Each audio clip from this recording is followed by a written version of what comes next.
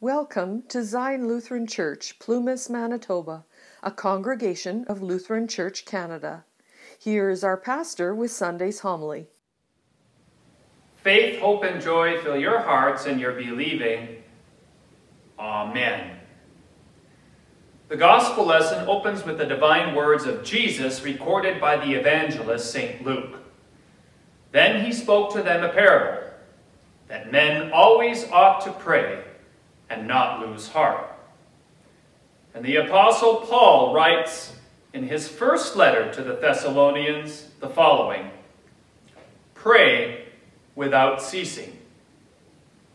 Pray always, pray without ceasing, and do not lose heart, as we await for the second appearing of Jesus, the Son of Man, who will return at the end of time.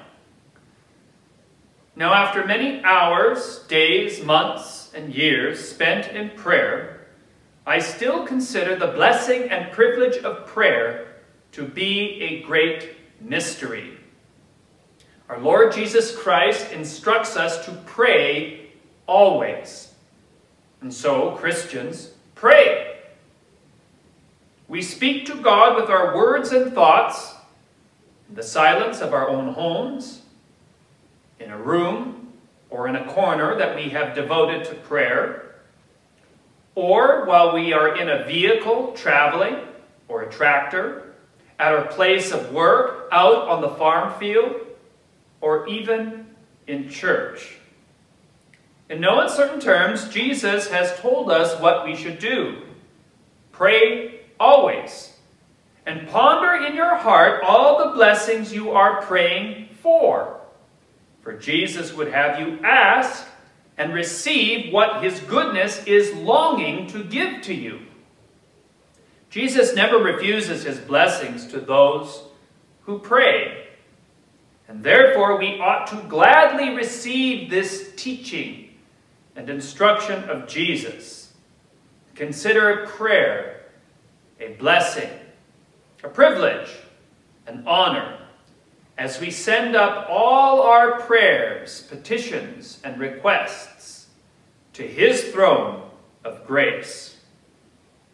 And yet the one eternal God does not always hear us as soon as we could wish for, nor, for that matter, when it seems best for us. At times God delays our requests in order to strengthen our faith in Him, exercise our patience and love. And sometimes He grants in His anger what in His mercy He would refuse. I have always found the answer in the explanation to the small catechism to be helpful when it asks, how does God answer prayer? God answers our prayers in His time and in His way, which is why our Lord Jesus Christ teaches us to pray always and not lose heart. Pray faithfully, persistently, and continually so that we do not lose heart in this life. Now let us consider the parable of the tenacious widow that Jesus taught about in the gospel lesson. Jesus compares our prayers to the tenacious widow who comes to the unjust judge who neither fears God nor fears man. And yet because this woman is so persistent or tenacious in her request for justice, she keeps bothering the unjust judge. And the judge simply grants her request because the judge does not want to be beaten down by her continual coming to him. She's like a stone in his shoe, and so he just simply wants to get rid of her. The scene that the widow makes before the unjust judge is not only an embarrassment to him, but also to the tenacious widow who has found a way to somehow appear continually before the unjust judge.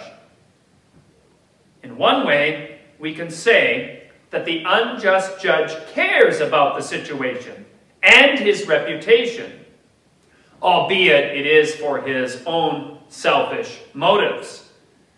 But the point of comparison between the unjust judge and our one eternal God is not their injustice. Rather, it is their reputation. It is clear that our eternal God is not an unjust judge. However, if the unjust judge grants justice to the tenacious widow, how much more will our just, holy, and righteous God and Father in heaven give justice to you who are his elect in his eternal Son, Jesus Christ our Lord? More, much, much more than the unjust judge. The Lord is true to himself. He is true to his word and promises. And the time for justice for his elect in Jesus Christ will come soon enough, although it seems slow in coming, to use the words of the Apostle Peter. Remember that God is gracious and merciful slow to anger and abounding in steadfast love, as we confessed him to be last week on Thanksgiving Sunday. If we consider that the unjust judge gave the tenacious woman justice, then it stands to reason that our just, holy, and righteous God will give justice to his chosen elect in Christ, who call to him day and night. Those who pray always, pray without ceasing, and not losing heart.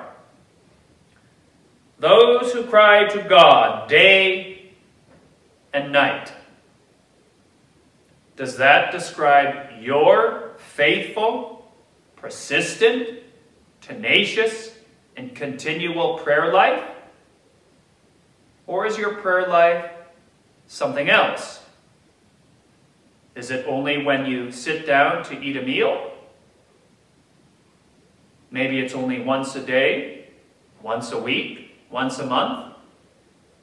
Or maybe it's whenever we get around to telling God the things He has to get done for me to satisfy my own desires and wants. Is there room in your prayer life for thanksgiving and praise? For the things that God has already blessed you with? I have to admit that in my own prayer life, my prayers for thanksgiving and praise often seem forced rather than spontaneous. Prayer that is spontaneous or natural are the petitions that reflect my desires, my passions, my wants, the things I want God to do for me. And if any kind of suffering should befall any Christian or a loved one, that would certainly drive a Christian to their knees in prayer spontaneously. But not so much when life is good. We're not driven to prayer when things are going well when all our needs are being met, when we feel as if we don't need to be in communion with the one eternal God. And so this is why Jesus asks, When the Son of Man comes, will he find faith on earth? At the close of the age, at the end of time, our Lord Jesus Christ will return to judge both the living and the dead, as we confess it in the Creed. Jesus will deliver his elect, who by faith were eager and ready to wait for his return in glory with patience, preparing themselves with prayer, fasting, and almsgiving. And this day will come upon us suddenly and unexpected, like a thief in the night, to use the words of the Apostle Paul. And therefore, Jesus gives us a reason why we should pray always and not lose heart and have faith in him. Because Jesus has delayed his second advent in glory at the end of time, some have been tempted to fall away from the faith in Jesus Christ and believe the lies of the evil one who would suggest that Jesus has delayed his return for so long that he's not even going to come back at all. Then there's the great warning from the pen of the Apostle Paul and the pastoral epistle, the appointed epistle lesson for today. This becomes a reality for us. St. Paul says, For the time is coming when people, Christians, will not endure sound teaching, but having itching ears, they will accumulate for themselves teachers to suit their own passions, and will turn away from listening to the truth and wander off into myths.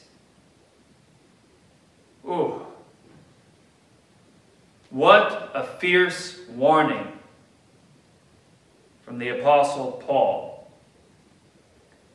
The reason why our Lord Jesus Christ does not hear the prayers of many is simply due to the fact that they have fallen away from the faith, from sound teaching and practice, believing myths and lies. They do not continually come to Jesus in prayer day and night. And for that matter, they don't anticipate his second advent in glory at the end of time with patience and endurance. May we never come to these temptations, desires, and errors and fall away from the faith in Jesus, not anticipating his return. Oh, Lord Jesus Christ, Son of God, have mercy. For whatever reason, I find that within our Lutheran tradition, we lack a consistent, continual prayer life. And I have to include everyone in that statement everyone in our community, including myself, and especially our own church body. At the same time, I have to say, I have seen some improvements over the years. For this we can give God all glory, thanks, and praise. But would that all of us carve out a time in the morning, the afternoon, or the evening for prayer. Beseeching our Lord Jesus Christ to hear and answer us in His time and in His way. I remain convinced that we would see unbelievable changes in the hearts and lives of people in this community if we would just simply do what Jesus said. Pray always, and do not lose heart. I have said it once, but I'll say it again and again. Prayer is indeed a mystery. And it's not something that you necessarily teach someone in a lecture or a class. Rather, prayer is learned by its practice. In other words, you learn how to pray by praying. When we are driven to prayer, we are blessed with the just and righteous God, who not only desires to hear our prayers, but also grants justice for us, his people. Our God and Father will grant you, his elect in Jesus Christ, justice, not because we are faithful, persistent, and continual in our prayers and cries, but rather because God is gracious and merciful, slow to anger, and abounding in steadfast love for you. Yes, the Lord desires that you pray to him continually, faithfully and persistently, but he answers your prayers because he is gracious and compassionate toward you. Unlike the unjust judge, our God and Father in heaven is loving and just, and he loves us, his children. The Apostle John put it this way in his epistle See what kind of love the Father has given to us that we should be called the children of God. And so we are. The reason we call upon God as our Father in heaven in prayer is because God our Father has loved us with an everlasting love in His eternal Son, Jesus Christ our Lord. And so as His children, we have been born again, born from above, through the washing of water with the Word and holy baptism, and therefore we can boldly come to our Father in heaven who answers all our prayers. The endearing title Father teaches us not only about God's great love for us, but also his desire for us to come to him just as children in this life go to their dear Father and ask them for things that they need. And of course, earthly fathers who love their children will respond to their requests in kind. But how much more will your Father in heaven respond to you who ask him in prayer? Through Jesus' death on the cross, we have been delivered from the wrath of God. We've been cleansed from all our sin and rebellion through the blood of Jesus shed on the cross. Jesus took up in his own body on the tree all our slothful weaknesses and excuses we have made to come to our Father in prayer. For all those times we have listened to the lies of the devil, not sound teaching, for all the times we have been consumed by the ways of the world, to have our itching ears satisfied by our sinful passions of the flesh, Jesus has come into this world to suffer and die on the cross to forgive them all. Jesus has brought us eternal peace and eternal life. Through his death and resurrection, we are the children of God. Baptized into his name most holy, we have the honor, privilege, and access to God in prayer. In the name of God the Father, through God the Son, Jesus, and through God the Holy Spirit, we are moved and persuaded to bring all our prayers, all our petitions, our troubles, our requests to our just and gracious Father in heaven, who listens to our prayers and answers those prayers in His time and in His way. So, in the words of Jesus, Pray always and do not lose heart. Unlike the unjust judge who cared nothing for the tenacious widow, our Lord and God cares for you. He loves you with an everlasting love. This is why St. Peter the Apostle wrote, Cast all your anxieties on Jesus, because he cares for you. Our Lord yearns to hear from you in prayer because you are his beloved, redeemed, baptized, communing, believing children. Pray always and do not lose heart. In the name of Jesus, Amen. Now the God of peace, who brought again from the dead our Lord Jesus Christ, that great shepherd of the sheep, through the blood of the everlasting covenant, make you perfect in every good work to do his will, working in you that which is well-pleasing in his sight, through Jesus Christ our Lord, to whom be glory forever and ever, and unto the ages of ages.